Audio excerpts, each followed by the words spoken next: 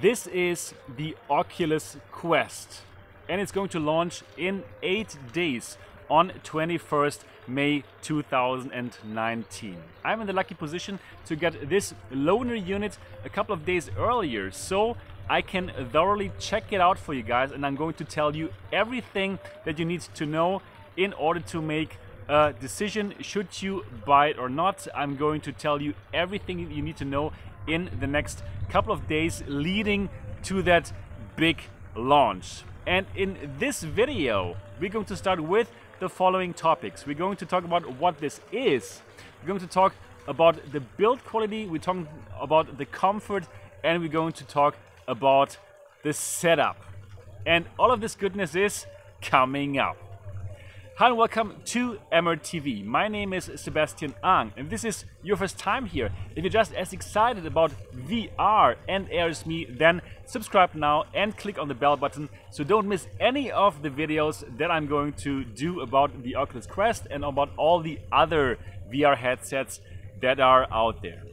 Yeah, so let's directly get into it. As you can tell, I am not at home in Dortmund, Germany. I'm actually on vacation in Portugal. And well, I got this loaner unit a couple of days before and I thought, you know what, I'm simply going to bring it to my holidays. Because actually this is like the perfect use case since this is wireless, this is self-contained, you don't need any computers or gaming consoles to use it. So yeah, why not bring it to my holiday, why not check it out here and why not simply tell you directly from me to you what I think about this, telling you about my experiences with the Oculus Quest leading up to a launch and like answering the question to you guys, should you buy this? Is this something for you? Yes or no? And you know what? I'm actually going to spoil it for you right here in this first video of this video series. Yes, this is an amazing device. This is an amazing device that I can wholeheartedly recommend like I couldn't recommend any of the other headsets that I've shown you on this channel before. This is magic. This is incredible. And let me also make one thing super clear here. This is not a sponsored review. I don't do sponsored reviews at all here on MRTV. And this is a loaner unit, which means I'm going to send it back to Oculus. And I have my own Oculus Quest that I bought arriving on 21st of May, just like everyone else. And I don't get paid by Oculus. I have nothing to do with Oculus. They are not flying me around the world. Nothing. Zero. I have nothing to do with Oculus. I'm just in the lucky position to get to get this loaner unit a few days early. This is just to let you know there's no funny business going on here with these uh, video, with this video series. I am honestly excited about the Oculus Quest. Now, with this out of the way, let's start. So what is this device? This is the new headset from Oculus. It costs $399. It is uh, a self-contained device. It's a standalone VR headset, which means you do not need a gaming computer to run this. You do not need a gaming console to, to hook it up to. You don't you do, do not need a phone that you would slot in here like like uh, the Gear VR series for example. No, nothing. This is self-contained. This is running on a Snapdragon uh, um, SoC, so everything that it needs to show you to to show the games or whatever you want to see in VR is in this device. It doesn't have any wires. It comes with two controllers and um, that's everything that you need. It has a battery. It can run for two and a half hours off this battery, and you can connect. Uh, yeah, you can recharge it obviously, and you can also connect it to some uh, battery pack if you if you simply want to keep on playing. So this is cool. Completely self-contained. If you want to jump into VR and have don't have anything that you needed before gaming computer whatsoever, this is your device. But now, let's start with the topic of this video. I want to talk about the build quality. I want to show you exactly what this device has. And um, I want to talk about the comfort and the setup. So, let's have a look at the device. Here it is. So, the design, it very much reminds us of the Oculus Rift with this kind of baseball setup. Right, so you you would simply put it on like this, and um, yeah, that is how you would do it. So in terms of how it's designed, you have these straps here with Velcro, and you can simply like make it fit to your head. And there's also like a spring, just the same setup like the Oculus Rift. However, in my opinion, it is way more comfortable than the Rift because this is like a combination between Rift and Go. Because here, the face padding, the face padding is the same face padding that is being used with the with the Oculus Go. So this is some soft cloth material. And this whole thing here, this whole thing you can take off and you can replace it with a third-party solution or with with a spare face padding if you want. So this is this is like really well done. Well done. So a combination between Oculus Rift and Oculus Go, which makes for a super comfortable experience. I recently had also reviewed the HP Reverb, which also uses this kind of combination, and it is a winning combination. So yeah, that's for the face padding. Here at the moment, I, I have like this here to protect the device from the sun, since you should absolutely not let the sun shine into the lenses. But let me let me just uh, show you for one moment how the lenses look like. So these are these are the lenses. Right, so okay. Back to production here. So um, as you could see there for one moment, the lenses are the same lenses that are being used in the Oculus Go and the Oculus Rift S. Let's keep on looking at the device here. So here we have four cameras and, and these four cameras are being used for the so-called inside-out tracking. The amazing thing is you don't have to set up base stations like you have to do with the Oculus Rift, with the original Oculus Rift. All the tracking is done by those four cameras. And I'm going to do another video which just talks about the tracking. So the great thing here is um, these four cameras, they track where the device is in space. So this works with six degrees of freedom. So you don't can you cannot just only look up and down.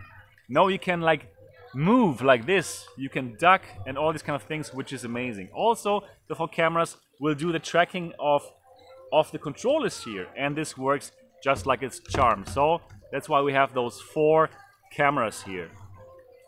Then on the side, we have a 3.5 millimeter headphone jack and the same on the other side. So probably two because they're probably going to there's going to be some accessories like headphone accessories and then each headphone will have its own connection here. So this is probably why there are two. Then on the bottom of the device we have here the volume rocker and here very important a mechanic IPD adjustment. This is amazing. So why is it amazing? Because people with different kind of um, IPD, interpupillary distance, can use this device. So if you have like a huge IPD, or if you have a very small IPD as compared to the general public, you will still be able to use this device. You will still be able, oops, something's fallen down here, to set this up, which is great. And the Rift S does not have it, but the Oculus Quest has it. So so this is this is really good. Then here on this side you have uh, a USB-C connection to charge the device and also for the data transfer. And on the other side, you this is where you turn it on, and here's also a little LCD. LED, LED, to show you uh, the state of the device that's it. That's it basically. Also, we can have a little look at the controllers here. The Oculus Touch controllers, exactly the same like on the Rift. Probably the only difference is here that the ring is upside and not like for the Oculus Rift where it's like downside. Yeah, here is like a trigger, grip button, two buttons, thumbstick, and one menu. But I'm going to do a whole video just about the controllers and the tracking. Now let's talk about comfort. So I mentioned already, it's a super comfortable device, but I also must tell you that this is heavier than Rift, um, since all the yeah the batteries here and uh, the Snapdragon, everything is inside. So this is a bit heavier than the Rift, and it's it's more front heavy than other headset that I've tried before. However, the great thing is that the strap mechanic and the the nice fabric here, they completely make up for it. So in the end, it's a very great feeling to actually wear this and let me wear it right now at the pool.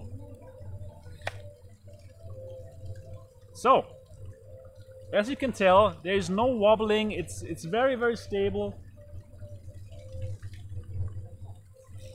and really comfortable. And I've just also answered a question that lots of people probably have.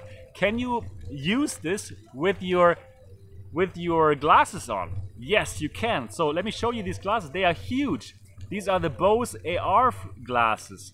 And these are big glasses. And yeah, I had no problem using them just now. So yes, you can wear glasses and actually they, they also even give you some glasses spacer so that you won't that your glasses won't touch the lenses when you use them. Very, very nice. And uh, yes, so comfort-wise, this is a winner. This is a complete winner. All right, now I also would like to talk about the setup and the whole experience, unboxing and so on. I've done the unboxing in Germany just like uh, like uh, 20 minutes before I had to leave for the train to the airport, so I didn't make a video of this, but there's lots of people who already made some unboxing videos, so you can check those videos. Um, beautiful experience, very nice. The box looks great. It's it's everything is very, very well done. And from beginning, from unboxing until end of setup, it's a breeze. It's the most polished experience in terms of VR headsets that you could think of. Like probably the only thing that comes close was the original Oculus Rift. That was also very polished and it very much reminded me of that experience. Oh, and there's there's something that I have to get right now.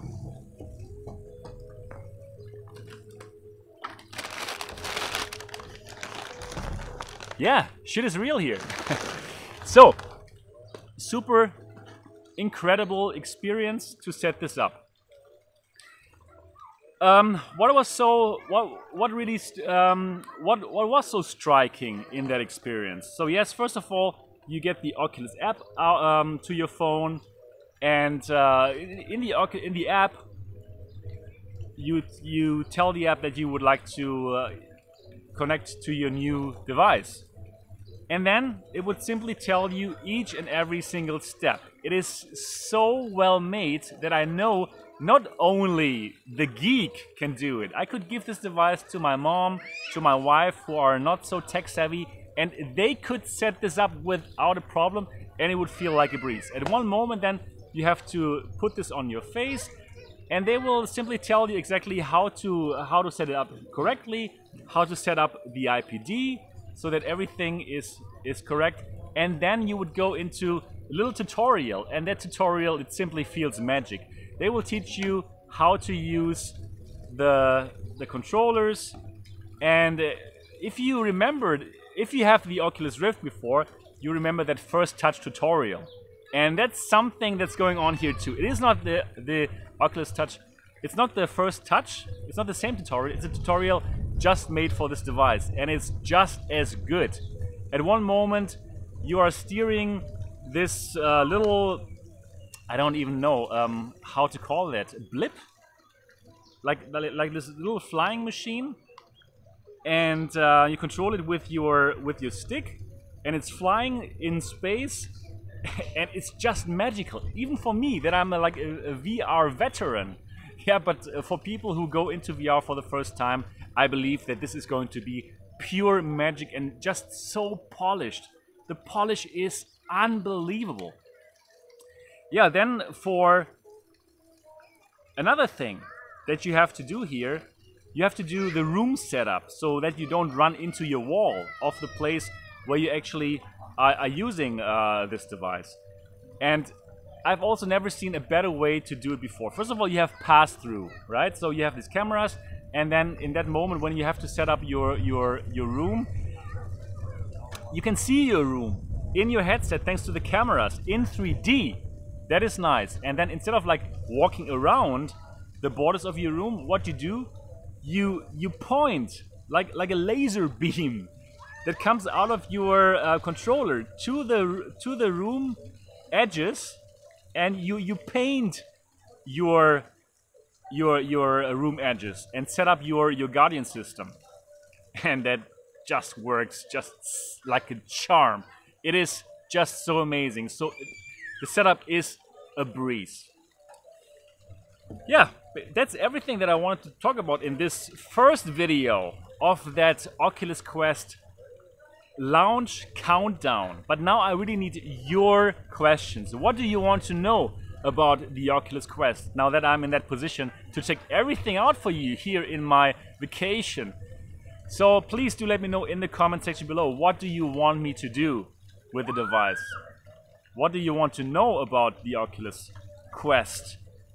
And um, yeah, please do let me know in the comment section down below so I can like um, answer your questions in these days like uh, going to launch on 21st of May. I'm really looking forward to read your questions.